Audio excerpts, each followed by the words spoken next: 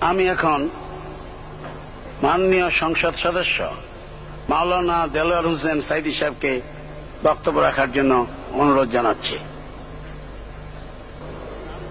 نحمده ونصلي على رسوله الكريم وعلى آله وأصحابه أجمعين أعوذ بالله من الشيطان الرجيم بسم الله الرحمن الرحيم মাননীয় স্পিকার আপনি এই মহান সংসদের স্পিকার হিসেবে নির্বাচিত হয়।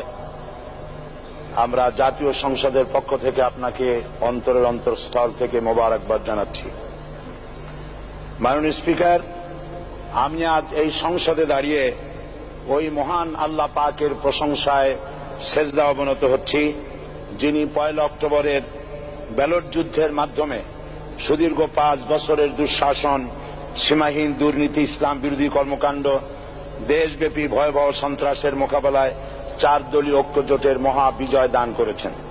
এবং যার ফলশ্রুতিতে যার ফলশ্রুতিতে আজকে আমরা এই মহান সংসদে দাঁড়িয়ে কথা বলার সুযোগ লাভ করেছি।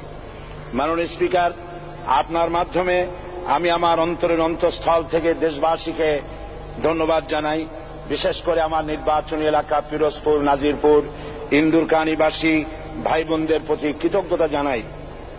যাদের অক্লান্ত পরিশ্রমে এবং মূল্যবান ভোটের মাধ্যমে আমি নির্বাচিত এই মহান সংসদের সদস্য হওয়ার সুযোগ লাভ করেছি। মাননীয় স্পিকার, বাংলাদেশের তেরো কোটি মানুষকে যারা পরিচালনা করবেন, আজকে তারাই এই মহান সংসদে বসে আছেন। আমি আপনার মাধ্যমে তাদের উদ্দেশ্যে কিছু কথা বলতে চাই। জবাবদিহিমূলক সরকার, কল্যাণমূলক সরকার ও সুস্থ প্রশাসন, এই বাক্যগুলি আমরা প্রায় শুনে থাকি। এই বাক্যগুলির অর্থ সরকার স্বৈরাচার নয়, বরং জনগণের কল্যাণে জনগণ নিকট দায়বদ্ধ সরকার, যা আব্রাহাম লিঙ্কনের ভাষায় by the people for the people of the people বর্তমান পৃথিবীতে মূলত গণতান্ত্রিক দেশে এখন সরকারকে বিবেচনা করা হয়। এরূপ সরকারের জনগণের সার্বভৌম ক্ষমতার উৎস হিসেবে বিবেচনা করা হয়। অর্থাৎ সংখ্যাগরিষ্ঠ প্রতিনিধিদের প্রণীত আইনই হল আইন এবং নির্বাচিত হবার পর সরকার হয়ে পড়েন সমগ্র জনগণের। আর বিরোধী দল হয় ছায়া সরকার। মাননীয় স্পিকার, সরকারকে সঠিক পথে পরিচালনার জন্য বিরোধী দলকে অপরিহার্য বিবেচনা করা হয়। বর্তমান গণতান্ত্রিক চেতনা বেশি পুরনো নয়, মানুষ মূলত রাজতান্ত্রিক স্বৈর শাসনের সাথেই বেশি পরিচিত। বস্তুত বর্তমান পৃথিবীতে গণতান্ত্রিক শাসন ব্যবস্থায় জবাবদেহিমূলক, কল্যাণমূলক, স্বচ্ছ প্রশাসনের যে কথাবার্তা আমরা শুনতে পাই, এর প্রথম উপস্থাপক হলেন বিশ্বনবী হজরত মোহাম্মদ রসুল্লাহ সাল্লাহ আলী বর্তমান গণতান্ত্রিক ব্যবস্থাপনার সাথে ইসলামের মূল পার্থক্য হল সার্বভৌমত্বের ধারণা নিয়ে। ইসলামের দৃষ্টিতে সার্বভৌমত্বের মালিক জনগণ নয়, মালিক হলেন আল্লাহ রব্বুল আলমিন। কিন্তু সরকার গঠন ও পরিচালনা জনগণের ইচ্ছার ভিত্তিতে হতে হবে।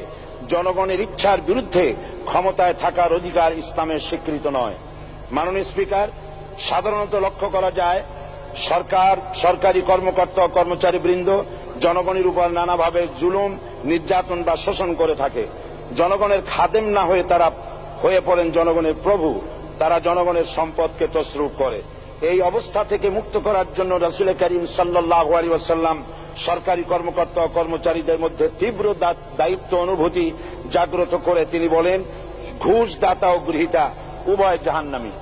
নবী করিম সাল্লাহ সাল্লাম আরও বলেছেন, আমরা যদি কাউকে কোনো রাষ্ট্রীয় দায়িত্ব প্রদান করি, তখন সেই ব্যক্তি তার ব্যক্তিগত কাজ যতটা নিষ্ঠা ও আন্তরিকতার সাথে পালন করে, রাষ্ট্রীয় দায়িত্ব যদি সেভাবে পালন না করে, তবে কেয়ামতের দিন তাকে উল্টো করে জাহান নামে নিক্ষেপ করা হবে। রাষ্ট্রীয় সম্পদ তসরুপের ব্যাপারে কঠোর হুঁশিয়ারি উচ্চারণ করে বিশ্বনবী মোহাম্মদ রসুল্লাহ সাল্লাহ সাল্লাম বলেছেন, রাষ্ট্রীয় দায়িত্ব পালনকারী কেউ যদি এক টুকরা সুতা বা তার চেয়েও ক্ষুদ্র কোন জিনিস খেয়ানত করে, তবে কেয়ামতের দিন খেয়ানতের বোঝা মাথায় করে তাকে উঠতে হবে। মাননীয় স্পিকার, আল্লাহ রসুল যে সরকার ব্যবস্থা প্রতিষ্ঠা করেছিলেন, তা সত্যিকার অর্থে ছিল জনকল্যাণমূলক সরকার।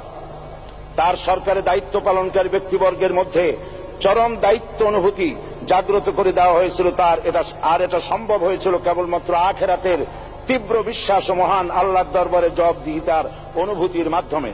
মানুষের নিকট জবাবদিহিতা পাশ কাটিয়ে যাওয়া যায়, কিন্তু আল্লাহর নিকট জবাবদিহিতা পাশ কাটানোর কোনো সুযোগ নেই। মাননীয় স্পিকার, নবী করিম সাল্লাহ সাল্লামের সরকার ব্যবস্থাপনায় সবাই যেমন আইনের দৃষ্টিতে সমান অধিকার ভোগ করেছে, ঠিক তেমনি ভাবে রাষ্ট্রের নাগরিক হিসাবে সবাইরই মৌলিক চাহিদাসমূহ পূরণ হয়েছে। ঋণগ্রস্ত এতিম অসহায় জনগণ রাষ্ট্রীয় তহবিল থেকে সহযোগিতা লাভ করেছে। মূলত এটা জনকল্যাণমূলক সরকারের ধারণা। বিশ্ববাসী তখনই প্রথম অবলোকন করে। মাননীয় স্পিকার, নবী করিম সাল্লাহ সাল্লাম সরকারি কর্মকর্তাদের বিরুদ্ধে কোনো অভিযোগ পেলে তখনই ব্যবস্থা গ্রহণ করতেন। আইনের চোখে সবাই সমান। এবং এ কারণেই শাসকদের আত্মীয় স্বজন কারও পক্ষে সম্ভব ছিল না জনগণের উপরে জুলুম করা। খলিফা অমর রাদিয়াল্লাহু তাআলা আনহুর এক ছেলে অপরাধী প্রমাণিত হলে সে দণ্ডভোগ থেকে রেহাই পায়নি, এমনকি এতে তার মৃত্যুদণ্ড হয়েছিল। আবার খলিফা নিজেকে আইনের ঊর্ধ্বে মনে করতেন না, তাই বর্ম চুরির ঘটনা আলী রাজি আল্লাহ তালানহু কাজীর দরবারে সাধারণ ফরিয়াদির মতো উপস্থিত হন। নিজের ছেলে চাকরের সাক্ষী যথেষ্ট না হয়, কাজী খলিফার বিপক্ষে রায় দেন। এখানে বিচার বিভাগ ছিল সম্পূর্ণ স্বাধীন এবং শাসন বিভাগের নিকট তার কোনো দায়বদ্ধতা ছিল না। মাননীয় স্পিকার এসব হলো ইতিহাস। মুসলমান আজ অনুসরণ করতে চায় না তাদের অতীতের গৌরবোজ্জ্বল কর্মপদ্ধতিকে। সে এখন কাফির মুশ্রিকদের কিরানক স্বার্থ পূজারী আখেরাতে জবাবদিহিতা শূন্য বাগড়ম্বর এক জাতি। মাননীয় স্পিকার, যে জাতির এক পূর্বসূরি মাথায় আটার বোঝা বহন করে নিয়ে চললেন, আর বলে গেলেন, মানুষ কেন?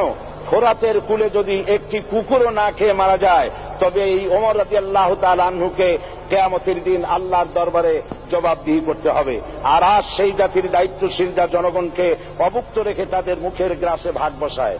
জনগণ তাদের নিকট উপস্থিত হলে মনে হয় যেন গোলাম প্রভুর দরবারে উপস্থিত হয়েছে। আর অহেতুক উৎকোচ দাবি করে তাদের উপর জুলুম করছে, আর আল্লাহ পাক জালিমকে কখনোই পছন্দ করেন না।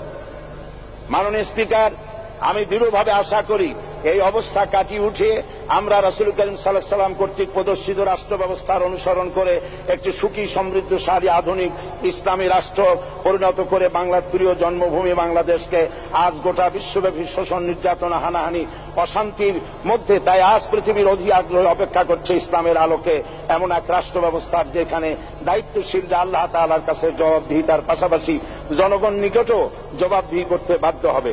মাননীয় স্পিকার অনেক ত্যাগ ত্যাগ ও তিতিক্ষার রক্তের বিনিময়ে গড়ে উঠেছে আমাদের গণতান্ত্রিক প্রতিষ্ঠান, এই জাতীয় সংসদ। এই সংসদের সম্মান রক্ষা করার দায়িত্ব আমাদের সবার। গণতান্ত্রিক চর্চা গণতন্ত্র প্রতিষ্ঠার স্বার্থে আমি আজ প্রধান বিরোধী দল, আওয়ামী লীগকে সকল হিংসা, বিদ্বেষ ও পরাজয়ের গ্লানি ভুলে গিয়ে সংসদে যোগদানের উদাত্ত আহ্বান জানাচ্ছি। পরিশেষে আমি আপনার মতো সর্বজন শ্রদ্ধ একজন মার্জিত ও সুশিক্ষিত ব্যক্তিকে এই মহান সংসদের স্পিকার হিসাবে লাভ করে আমরা আনন্দিত হয়েছি। আমাদের সংবিধানের সংরক্ষণ, সমর্থন ও নিরাপত্তা বিধান এবং আপনার অভিভাবক সুলভ, নিরপেক্ষ আচরণ ও সংসদকে ধন্য করবে বলে আমরা বিশ্বাস করি। আপনাকে ধন্যবাদ। আসসালামু আলাইকুম রহমতুল্লাহ